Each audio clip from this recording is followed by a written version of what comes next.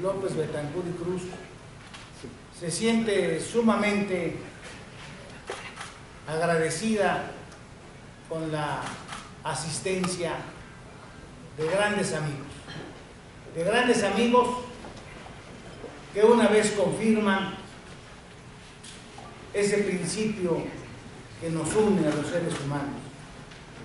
Ser amigo del momento inseguro, del momento difícil por el que atravesamos, pero que hoy al final vemos la luz. Qué mejor oportunidad de contar con todos ustedes. Pero quisiera referirme en forma particular a quien ha sido en nuestra casa un ejemplo de virtudes. Alguien al que admiramos, queremos y nos sentimos satisfechos de que nos cobije con su cariño. El ingeniero Cuauhtémoc Cárdenas Orozco.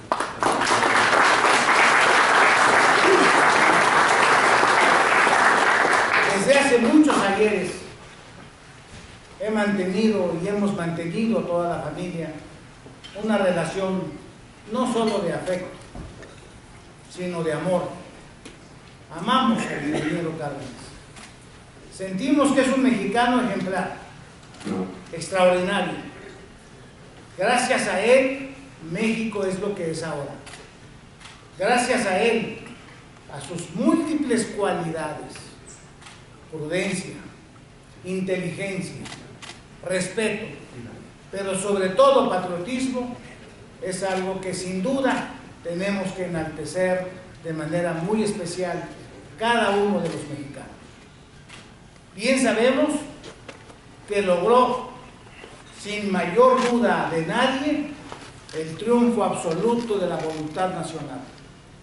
No se trata de reclamos, no se trata en este momento de estar señalando errores, sino más bien cómo podemos aprender de estos para no repetirlos. Y así fue la lección de Cárdenas en la historia de México.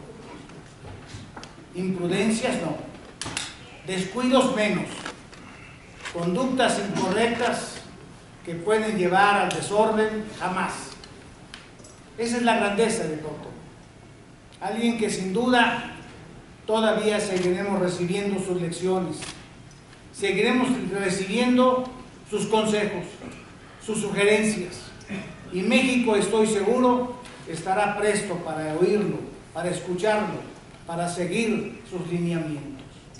Cuauhtémoc, gracias. Eres un gran señor, un gran mexicano y un gran patriota.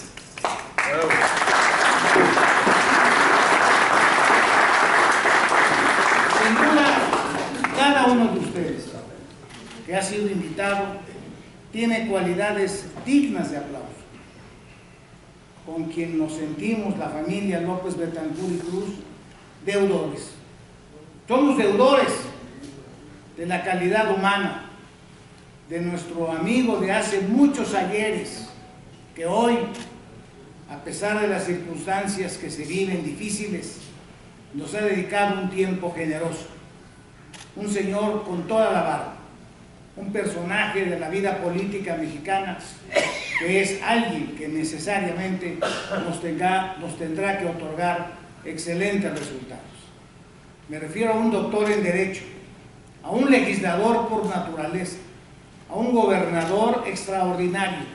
En verdad, Ricardo Monreal Ávila es un personaje de la gran historia de este país. Muchas gracias, Ricardo.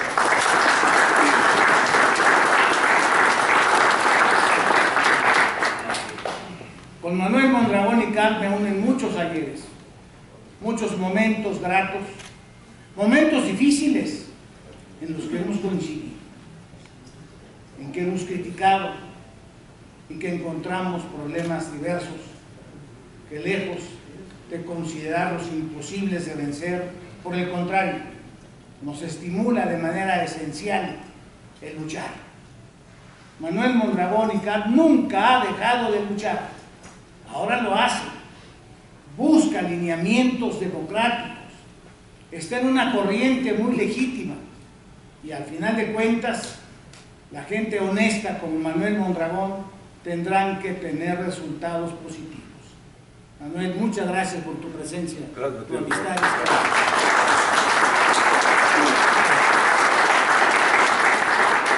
Tengo una admiración especial y diré por qué. Soy oriundo del estado de Guerrero, como bien lo sabes. Un estado difícil, en conflicto permanente. No hemos encontrado el camino adecuado. Nos hemos enfrentado a vicitudes de todo tipo, de la naturaleza, de equivocaciones, de errores, de descuidos. Cuando un gobernante como Héctor Astudillo termina su mandato, es el ejemplo vivo de que puede unificar la opinión de los guerrerenses. Ahora él es un guerrerense ejemplar, que puede caminar tranquilo por todo el Estado, seguro que tiene la admiración, el afecto y el cariño de todos a los que gobernó. Muchas gracias, Héctor.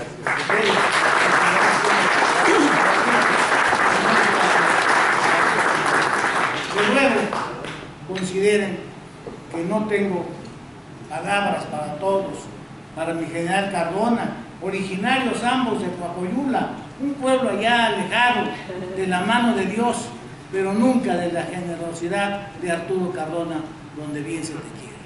De mi general también Carrasco, que por allá anda, en fin, podría yo dedicarle toda la mañana para agradecerle a mi diputado Sánchez, a quien le debo haya sido el promotor para que me otorgaran unas de las distinciones que más satisfacción me han producido, que fue precisamente la, la que se refiere a los sentimientos de la nación.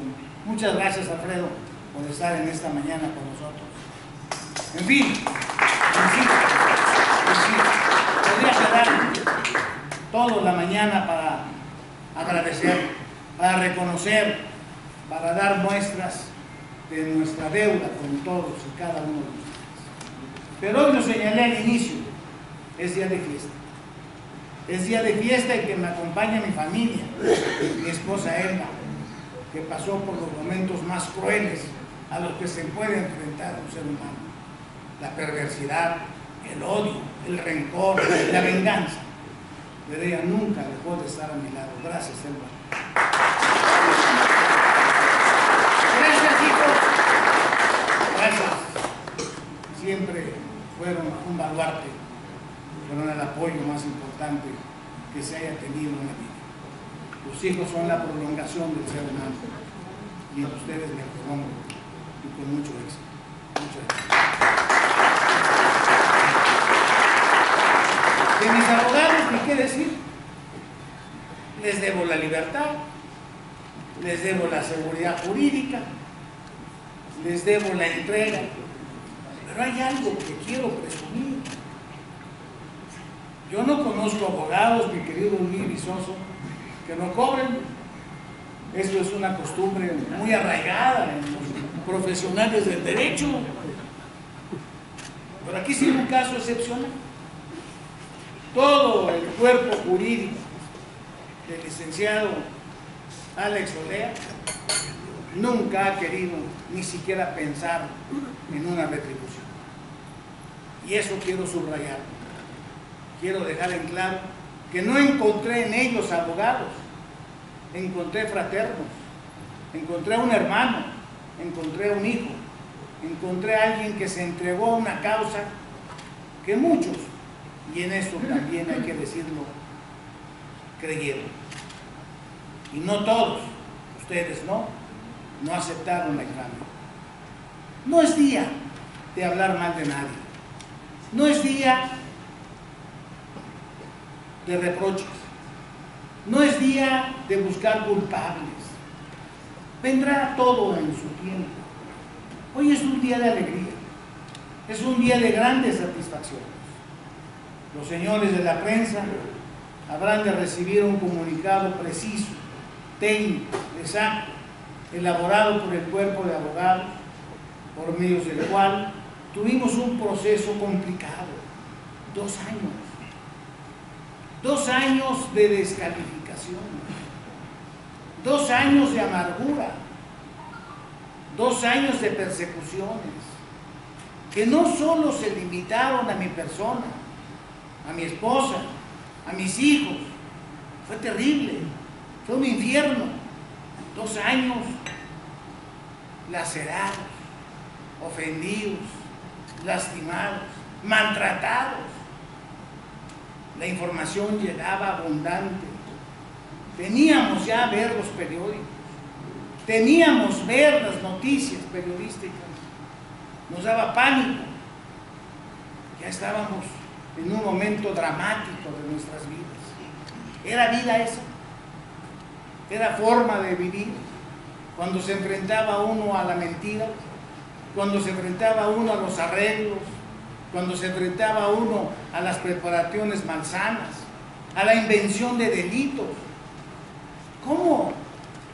El presidente del tribunal universitario, el encargado de perseguir conductas incorrectas, conductas ilícitas, que luchó siempre a través del único congreso que se ha hecho a nivel mundial en este ámbito universitario para precisamente criticar el acoso, criticar la indebida manera de conducirse en las aulas, afectando a las mujeres, dañando al personal femenino.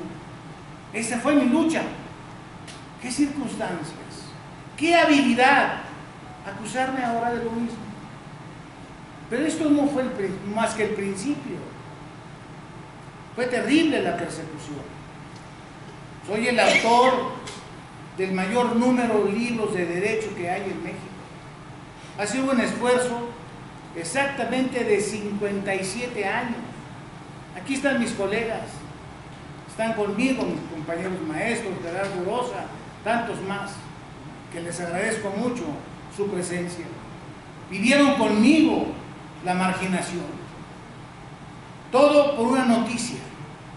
Todo porque México se es culpable violentando la Constitución. Se olvida el principio de la inocencia. Todos somos culpables hasta que demostremos lo contrario. Cuando el aforismo es distinto, cuando el aforismo es nadie es culpable hasta que se demuestre su responsabilidad.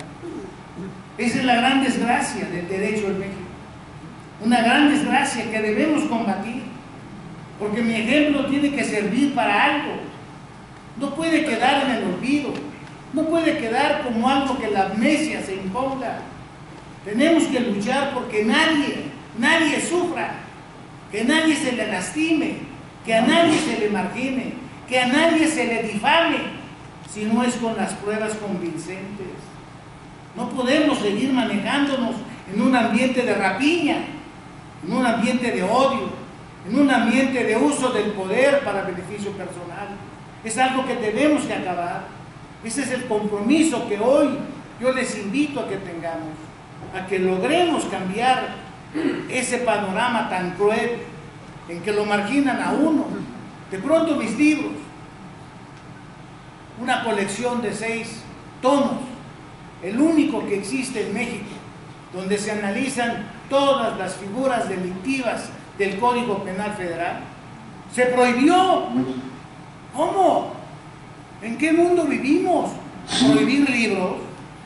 ¿Qué acaso no hemos vivido el drama de otras civilizaciones que se prohíben los libros? ¿Hay alguna molestia por ahí? ¿No? Bueno. ¿O quiere cambio de micrófono? No, no, no. Ah, ah, en ese sentido, es inaceptable. No podemos vivir en estas circunstancias. Tenemos que respetar el principio de inocencia, darle un valor absoluto. Y luego no solamente los medios que en un momento dado informan algo, que lo hacen de buena fe, tal vez en algunos casos no sea así, pero no es posible dar una noticia que lastime a toda una familia, que dañe, que se le margine a esa persona y a todos los suyos. Pero hay por ahí un ambiente tenebroso, un ambiente infernal, un ambiente anónimo, las redes, las redes. Esas dañan más, lastiman más, pero tienen esa cobardía, anónimas. ¿De dónde vienen? Yo les confieso a ustedes que no soy afecto al Facebook ni a ninguno de esos mecanismos desde hace tiempo. Pero a pesar de eso, los usan contra mí, no dejan de hacerlo el día de hoy, ayer, antier, permanentemente. ¿Y saben por qué? Yo lo entiendo. La respuesta la tengo. Porque defiendo lo que yo digo. Porque me gusta hablar con mi verdad, que tal vez no sea la de todos. Y esa ha sido mi. Esa ha sido mi equivocación, pero no voy a dejar de seguir ese camino. Ese camino que me impuse de decir lo que siento, de decir lo que pienso, y no voy a variar mi conducta. Y luego aquí, con ustedes que son mis testigos de honor, con el respeto que me merece Cuauhtémoc Cárdenas, ese gran respeto que le tengo a quien admiro y al que quiero, y que yo no podría, estando él presente, mentir, yo no podría faltar a la verdad. Estando él como testigo, tengo que decir con toda claridad que seguiré este lineamiento hasta que sea el último día de mi. Ese es mi compromiso con Lo he platicado contigo. Seguiré luchando, seguiré haciendo el mejor esfuerzo porque en este país cambien las cosas como corresponde legítimamente a un país mejor, un país que sea gobernado por los mejores, un país que sea gobernado con limpieza de miras, que sea gobernado con amor, que sea gobernado para todos, no para un grupo de fascinerosos, no para un grupo de amigos, no para un grupo de parientes, no, que sea para todos, buscando siempre el mejor. Y Ricardo Monreal es un artífice de ese planteamiento. Hace muchos años, y voy a hacer una confesión, en Zacatecas hicimos un compromiso de luchar juntos para lograr ese México mejor. Y aquí estamos, sin duda Ricardo, en ese propósito. En ese propósito que ha sido el mismo de Manuel Mondragón, que recientemente se entregó a una lucha legítima a la que él consideró la mejor. Esto es... Ya, ya lo están, están viendo ya. A ver, ¿me espero? Sí, tantito, por favor, doctor. Es que son...